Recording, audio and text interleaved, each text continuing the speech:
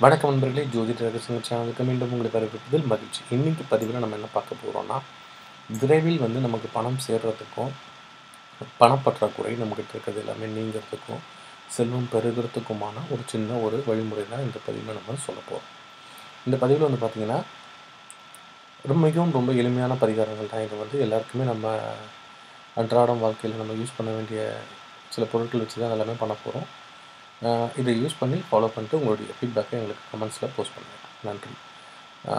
என்னென்னா இப்போ நம்ம எல்லாருக்குமே வந்து அத்தியாவசியமாக தேவையாக இருக்கிறது வந்து பணம் வந்து ஒரு முக்கிய பங்கு வகிக்கிறது இல்லையா?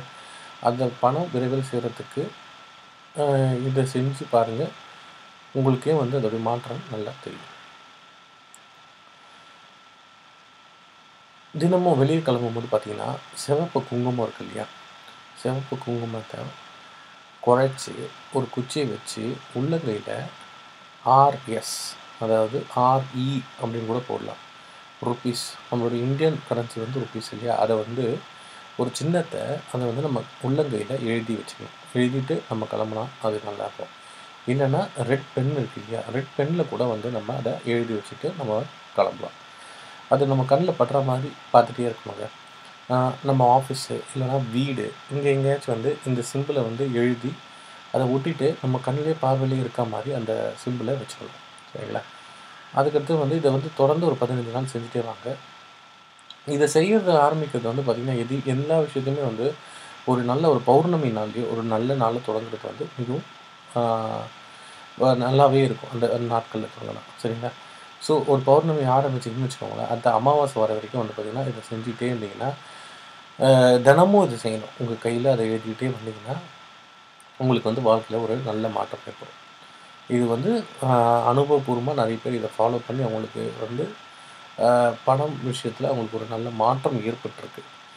அதுக்கடுத்தது வீட்டில் பின்புறம் வந்து பார்த்திங்கன்னா கற்றாழை வளர்த்து வந்தீங்கன்னா உங்களுக்கு பணம் வெகு விரைவாக உங்களை தேடி வர்றதுக்கு அதில் அதுக்கான ஈர்ப்பு சக்தி வந்து அதில் இருக்குது வீட்டுக்கு முன்னாடி இருக்கிறது வீட்டுக்கு பின்னாடி வந்து கற்றாழைக்கு வந்து அந்த பவர் இருக்குது சமையல் அறையில் வந்து ஒரு சிறிய பாத்திரத்தில் அரிசி எடுத்துக்கோங்க. அதில் குடும்பத் தலைவர் கையால் சில காசுகளை அரிசிக்குள்ளே போட்டுடணும் சரிங்களா? இதை செஞ்சு வருவதனால வீட்டில் எப்போவுமே வந்து பார்த்திங்கன்னா செல்வமும் பணமும் வந்து இருந்து கொண்டே இருக்கும். ஏன்னா, மூன்று மாதங்களுக்கு ஒரு முறை வந்து பார்த்திங்கன்னா மாற்றிக்கொள்ளும் அதை அந்த அரிசியை மாற்றிட்டு வேறு அரிசி போடணும். காசை எடுத்துக்கொண்டு அரிசியை வந்து பறவைக்கு போட்டுருங்க வீட்டில் தென்கிழக்கு மூலையில் ஒரு கண்ணாடி பாத்திரத்தில் தண்ணீர் ஊற்றி சில கொத்தமல்லி இலைகளை போட்டு வைத்து வந்தால் பணம் விரைவில் சேரும். இந்த தின் தன் இந்த தண்ணீரை தினமும் நீங்கள் மாற்றிவிட வேண்டும். சரிங்களா? வீட்டுடைய தென்கிழக்கு மூலையில் ஒரு கண்ணாடி பாத்திரத்தில் தண்ணி ஊற்றிட்டு அது மேலே கொஞ்சம் கொத்தமல்லி இலையை தூவி விடணும் இதை வந்து தினமும் வந்து மாற்றிட்டே வாங்க. இதுவும் மாற்றினாலே உங்களுக்கு ஒரு நல்ல பலன் கிடைக்கும். அடுத்தது வீட்டில் தென்கிழக்கு மூலையில் ஒரு மஞ்சள் துணியில் அரிசியை போட்டு கட்டி தொங்க விடுங்க. அவ்வளோதாங்க தென்கிழக்கு மூலையில் ஒரு மஞ்சள் துணியில் அரிசியை போட்டு கட்டி தொங்க விடுங்க. அப்புறம் மூணு மாதத்துக்கு ஒரு முறை வந்து இந்த அரிசியை வந்து கட்டி எடுத்துட்டு மாற்றி விட்டுங்க அந்த அரிசியை வந்து பறவைகளுக்கு போட்டு விட்டோம். சரிங்களா? இதை பண்ணிக்கிட்டே வாங்க. உங்களுக்கு வந்து வாழ்க்கையில் ஒரு நல்ல மாற்றங்கள் பணம் விஷயத்தில் மாறிட்டே வரும். இது மூலயமா உங்களுக்கு தன ஆகர்ஷணம் ஏற்படுறதுக்கான வாய்ப்பு மிகவும் அதிகம். இதை அனைவரும் பயன்படுத்தி உபயோகப்படணுன்ற வேண்டி விரும்பி கேட்டுக்கொள்கிறோம். இந்த வீடியோ உங்களுக்கு பிடிச்சிருந்தா மற்றவங்களுக்கு பிடிச்சி ஷேர் பண்ணணும்னு நினச்சிங்கன்னா லைக் பண்ணி ஷேர் பண்ணுங்கள் சேனலை சப்ஸ்கிரைப் பண்ணாதவங்க சப்ஸ்கிரைப் பண்ணுங்கள் நன்றி வணக்கம். மீண்டும் அடுத்த பதிவில் இன்னும் சில பரிகாரத்தோடு நம்ம உங்களை சந்திப்போம். நன்றி வணக்கம்.